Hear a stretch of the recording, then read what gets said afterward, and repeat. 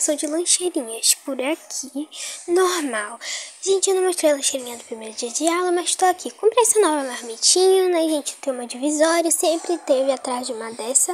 Né, gente? Sempre procurei agora que eu achei, tô usando. Tô pondo aí na parte de baixo uma pipoquinha. De suco vai ser suco de cupuaçu.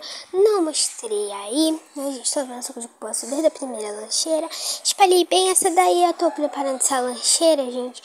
Foi dia de quinta-feira que eu preparei, gente, porque eu sempre preparo de noite e já deixo aí prontinha para outro dia, né, gente?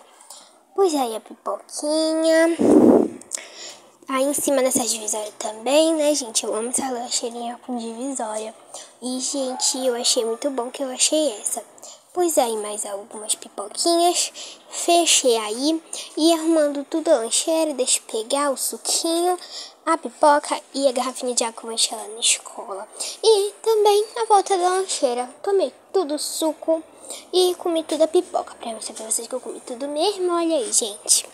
Comi tudo, a água eu enchi lá na escola, como eu falei pra vocês, leva a garrafa vazia pra encher lá. Enchi, ainda sobrou um pouquinho de água, mas então, foi isso hoje. Beijos, tchau, tchau.